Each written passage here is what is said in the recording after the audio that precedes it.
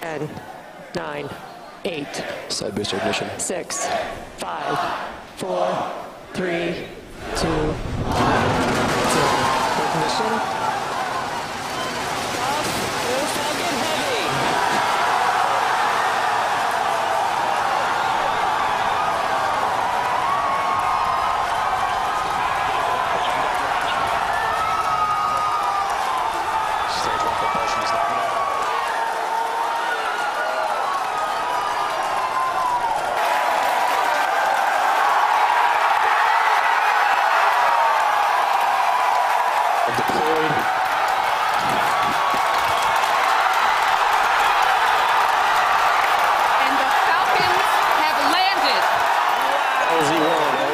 ¿Qué tal? ¿Cómo les va? Muy buenas tardes. Eh, bienvenidos a otra edición de Ecos Mundo Estrellado. Bueno, eh, diversos temas en este programa. Vamos a empezar con el último lanzamiento de SpaceX. ¿Qué les parece? Bueno, somos un poco fans de esta empresa que ha revolucionado los lanzamientos y los aterrizajes. Y ahora eh, una nueva misión en la que se puso, digamos, en órbita un módulo Dragón. Estos módulos sirven para llevar provisiones a los astronautas que están viviendo en la estación espacial. Era la misión de reaprovisionamiento número 16, ¿m? que llevaba 2.500 kilos de bebidas, comidas eh, y, por supuesto, muchos experimentos científicos. Pero eh, yo quiero que presten atención a este porque no va a ser eh, el lanzamiento al cual nos tiene acostumbrado SpaceX, más bien el aterrizaje. El lanzamiento fue exitoso, pero luego hubo un problema con eh, la primera etapa del cohete, que es la que aterriza en la plataforma que ellos tienen en el Centro Espacial Kennedy, del cual se producen la mayoría de los lanzamientos. Algunos se producen también en la eh, base Vandenberg, esto está en California, como ocurrió con el satélite argentino Southcom A, pero la mayoría los hacen en el Centro Espacial Kennedy. Bueno, vamos al informe para ver este nuevo, este, este nuevo digamos, eh, lanzamiento eh, protagonizado por la compañía cuyo CEO es el emblemático Elon Musk. Stage one's at startup pressures. Y es el 5 de diciembre y la empresa SpaceX se apresta a un nuevo lanzamiento de su cohete Falcon 9. Ahí eh, comienza la cuenta regresiva. 3, 2, 1, 0. Ignition.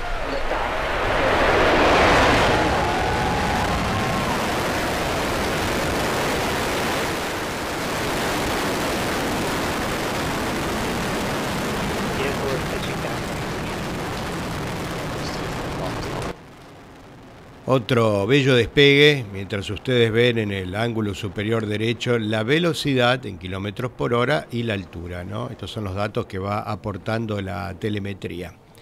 Y vemos que el cohete comienza a ascender.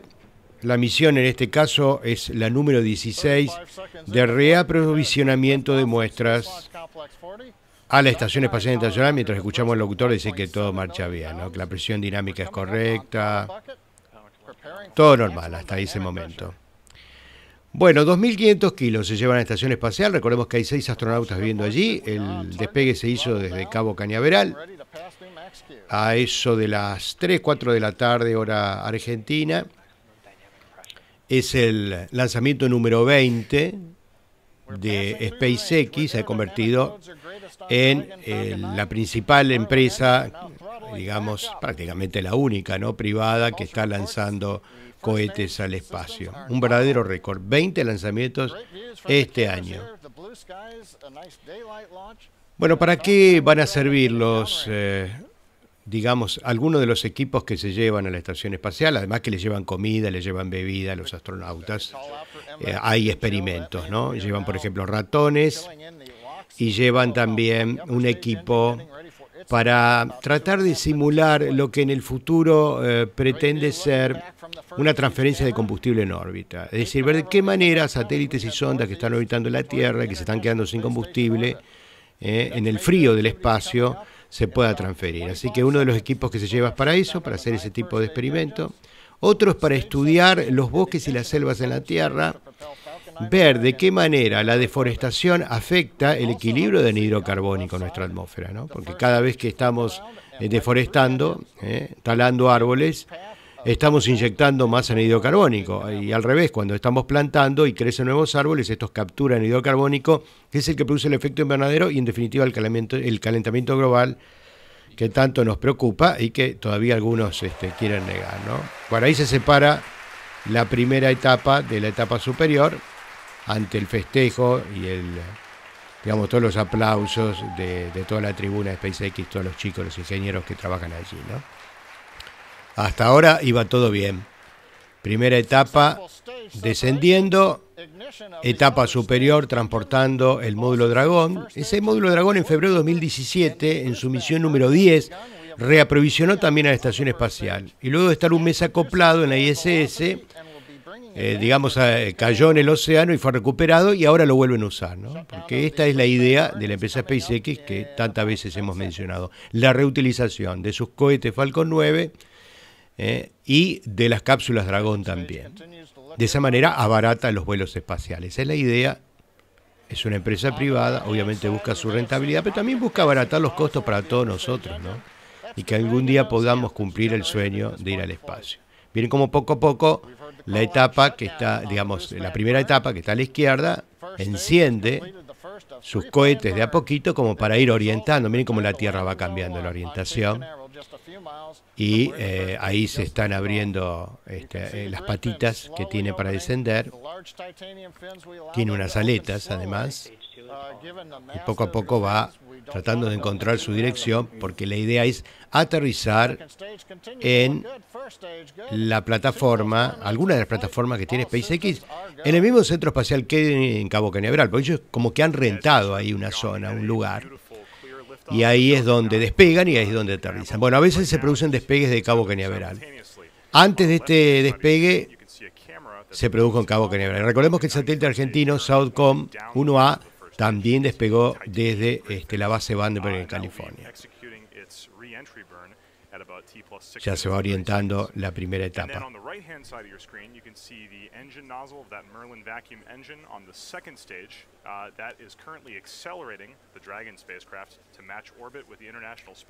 Bueno, y dice que, la, que, lo que lo que va a ocurrir después, el sábado se va a producir la copia con la Estación Espacial Internacional del Dragon, pero tiene que, una vez que llega a órbita y se inserta en la órbita, acelerarse, porque claro, este es un movimiento de ballet, ¿no? Hasta en el, digamos, hasta que transcurren los dos días para que la cápsula Dragón se acerque a la estación espacial y finalmente se acople. Porque estos acoples se producen realmente muy despacito, muy lento, ¿no?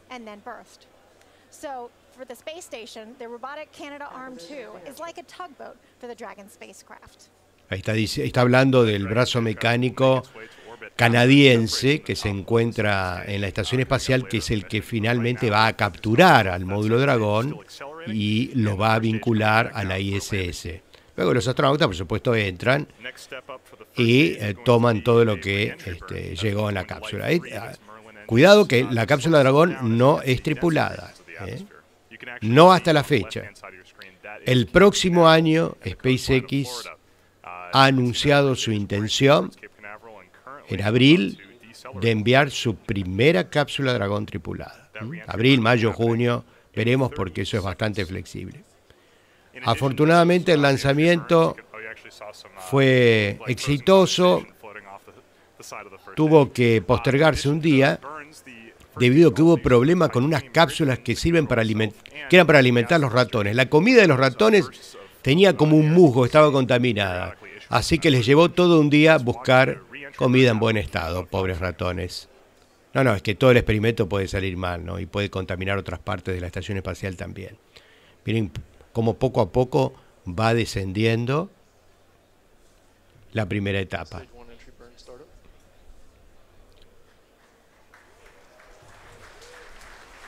Y están festejando, pero anticipadamente, porque como verán ustedes, lo que va a ocurrir en instantes es algo inesperado y a lo cual SpaceX no nos tiene acostumbrado, porque hasta ahora todos los aterrizajes de la primera etapa han sido realmente una maravilla.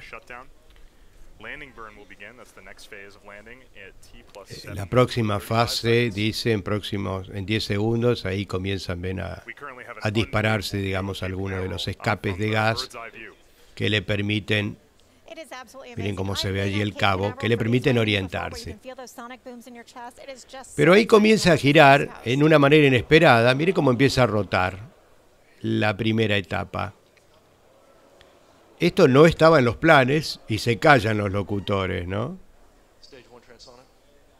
Y ahí se corta la transmisión y vuelven a la etapa superior. Bueno, luego nos enteramos, luego nos enteramos de que la primera etapa tuvo un problema en unas bombas en sus aletas, porque las aletas es como que se regulan a través de presión hidráulica. Eso falló, quedaron como estáticas, por lo menos una de ellas, y la primera etapa aterrizó muy suavemente en el mar.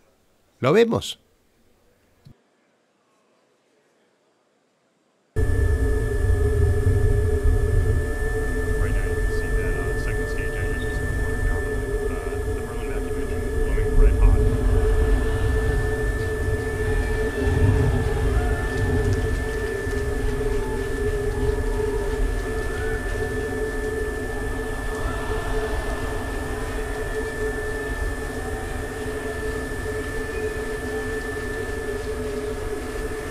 Y estas imágenes fueron posteadas después por Elon Musk, el presidente, el CEO de SpaceX, a través de su Twitter, ¿no? Porque un poco todos sus seguidores le reprochaban por qué realmente no lo mostró. Después de todo, siempre ha sido exitoso. Ahí estamos viendo otra vez el aterrizaje que no fue desde la cámara a bordo de, de la primera etapa. Eh, de todas maneras, eh, hay que decir que el aterrizaje acuático fue maravilloso, fue suave, eh, fue bien lento y Elon Musk ha dicho que van a volver a usar el cohete, dice, porque lo sumo se ha mojado, lo vamos a secar y lo vamos a volver a usar. Probablemente no para lanzar algún satélite caro, tal vez para alguna misión nuestra interna, pero lo vamos a volver a usar, porque inmediatamente fue recuperado este, por botes y llevado a la bahía. Crédito Elon Musk, dice. Y aquí está Hans Konigsman, que es eh, uno de los CEOs, también vicepresidentes ahí de SpaceX, y está tratando de explicar qué es lo que pasó. Hubo una anemolía en el lanzamiento de la primera etapa, y vamos a ver las maniobras que se hicieron para ver qué es lo que ocurrió. Esta es la vista desde el vehículo.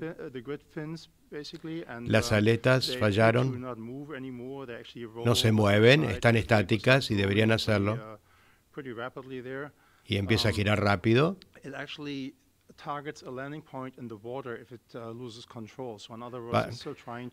va, perdiendo el control, dice, el cohete.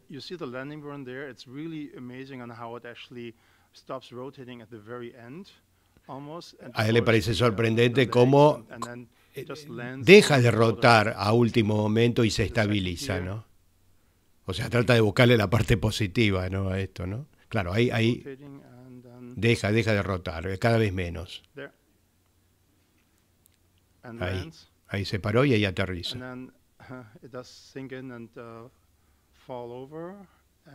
Ahí se cae, dice, y continúa trabajando. In fact, it went through the entire uh, safing sequence. The vehicle performed um, a, a sequence that basically events the tanks and makes it safe. O sea, so o sea todos los eventos se eh, desarrollaron con seguridad.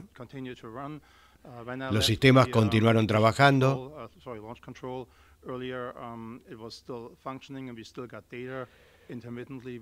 Los controles todavía estaban funcionando, enviando datos.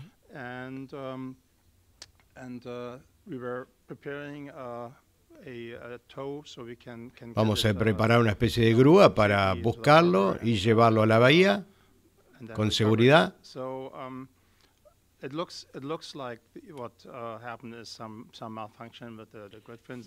Parece que hubo un funcionamiento er, incorrecto de a las aletas,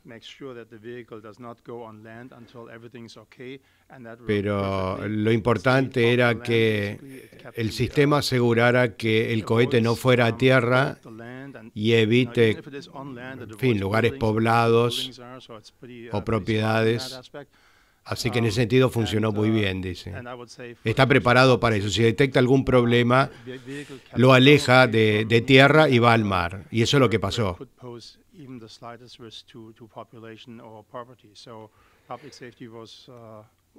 Ahí está, claro. La seguridad del público, dice, para nosotros lo más importante.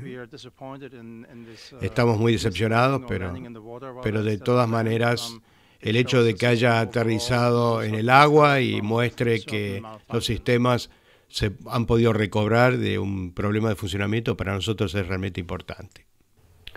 Bueno, hace pocos días hablamos de la nave InSight que llegó con éxito al planeta Marte, una nueva nave espacial entonces que se suma a la pequeña armada o flotilla de sondas que hoy dispone el hombre a través de distintas agencias espaciales, la NASA, los europeos, también la India mandó su propia nave. Bueno, la InSight, como ya lo hemos dicho en programas anteriores, eh, por las dudas alguien no, no lo haya visto, vamos a recordar que es una nave que tiene como principal objetivo estudiar el interior del planeta Marte. Para eso lleva un sismómetro y lleva también una sonda que va este, a, digamos, alcanzar una profundidad de varios metros para estudiar cuál es el escape de calor que hay del planeta rojo. Hubo mucho entusiasmo eh, cuando la nave finalmente llegó y se comunicó con la Tierra. Eh, poco a poco la telemetría eh, iba dando información a los ingenieros que están en la sala de control en Pasadena, California, así que respiraron aliviados y festejaron.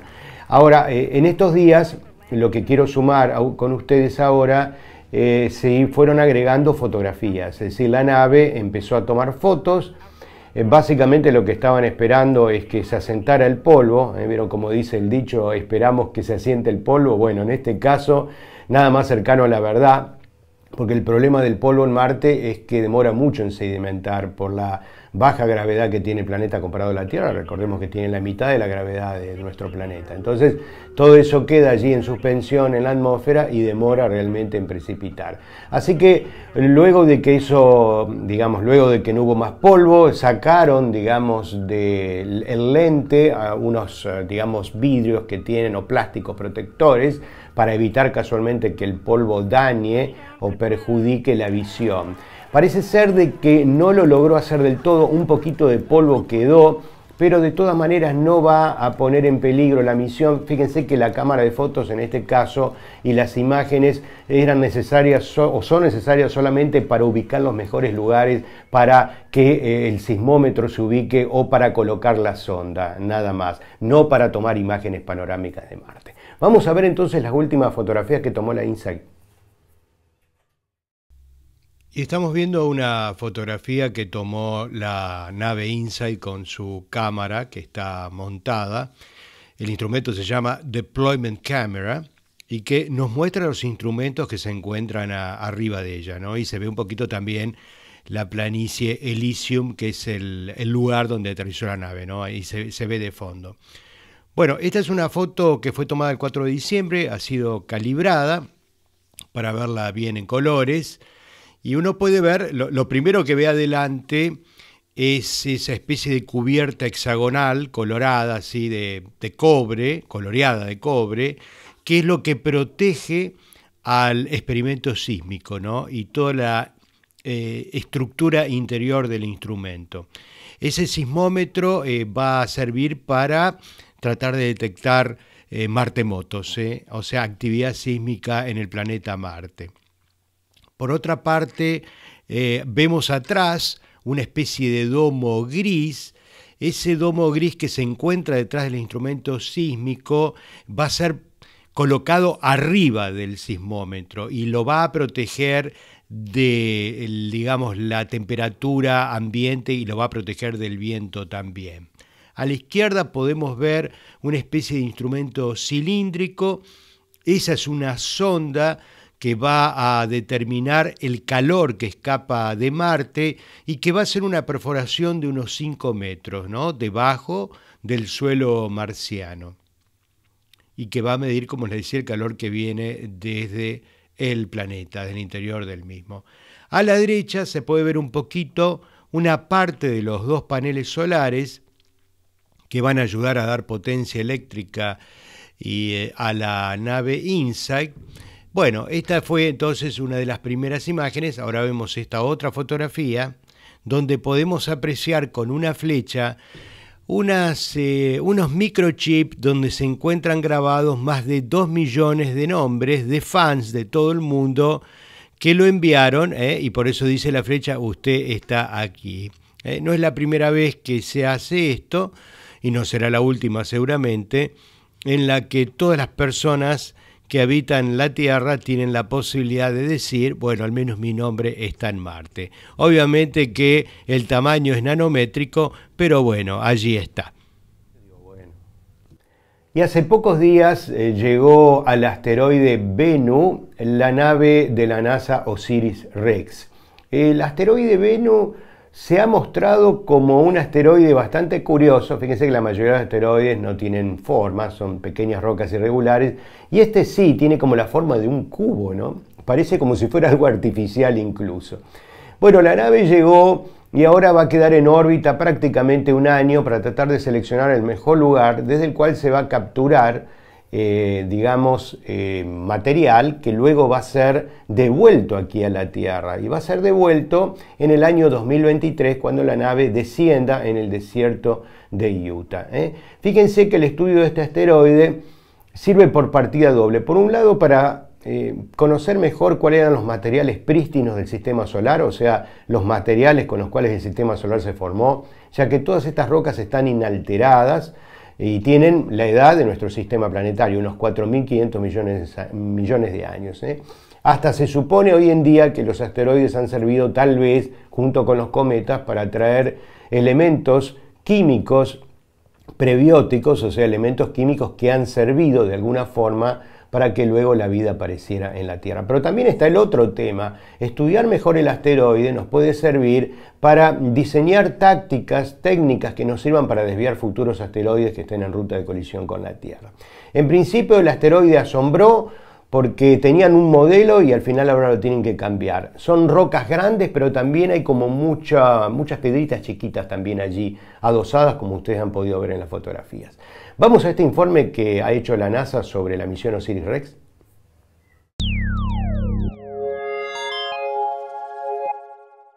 There are many important reasons for studying asteroids like the target of OSIRIS-REx, asteroid Bennu. First and foremost, for me especially, they're geologic remnants from the dawn of our solar system.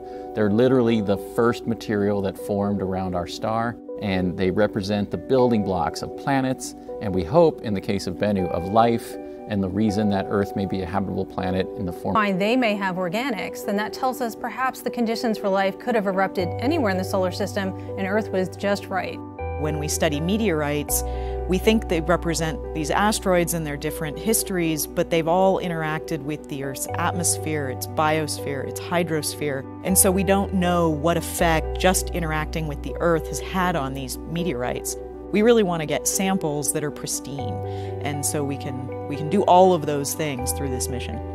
OSIRIS-REx is a mission in the NASA New Frontiers program. Our objective is to travel out to a near-Earth asteroid named Bennu, survey that object in great detail to understand its geology, its mineralogy and composition, ultimately select a single location on the asteroid surface to acquire a sample, and return that material back to the Earth for scientific analysis.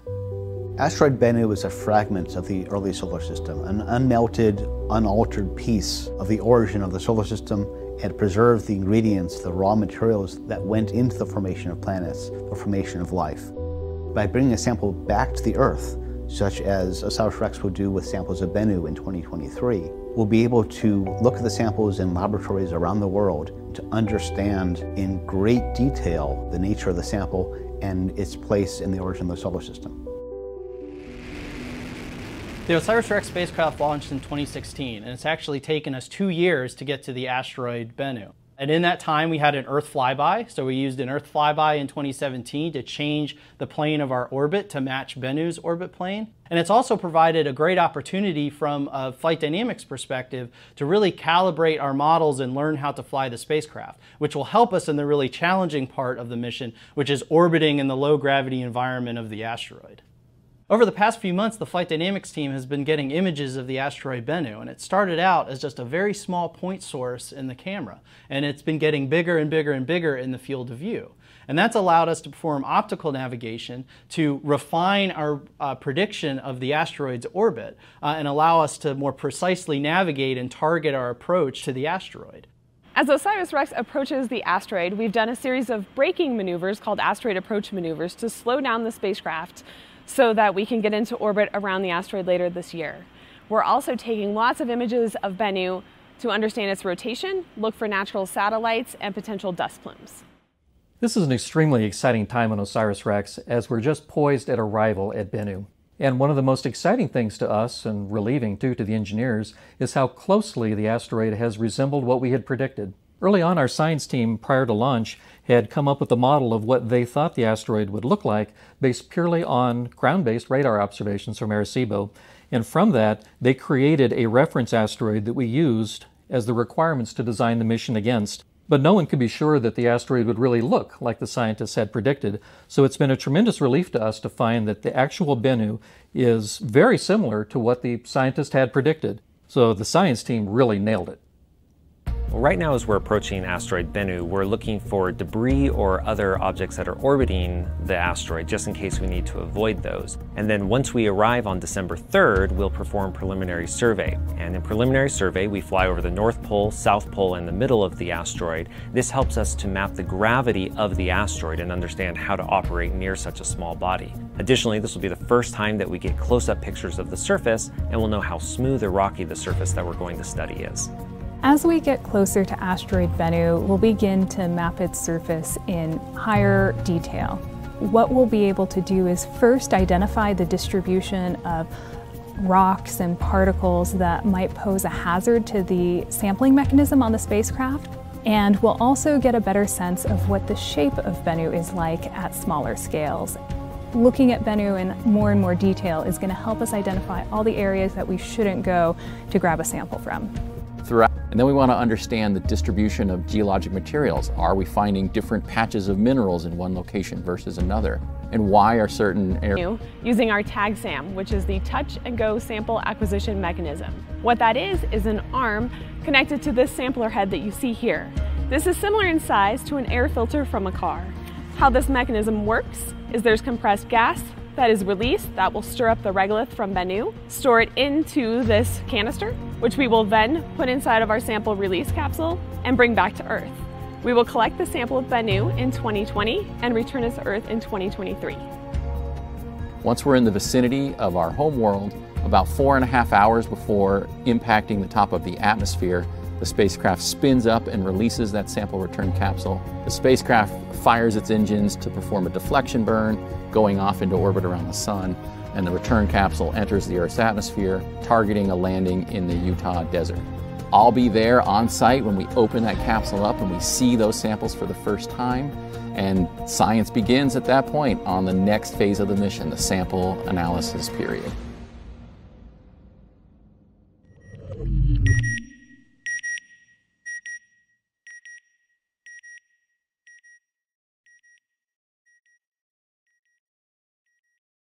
Y de esta manera vamos cerrando este programa de Ecos del Mundo Estrellado. Les recuerdo que el Observatorio Astronómico de Oro Verde no va a estar abierto durante el mes de diciembre. ¿eh? Reabrimos en el mes de enero, ya que aprovechamos diciembre para hacer mantenimiento.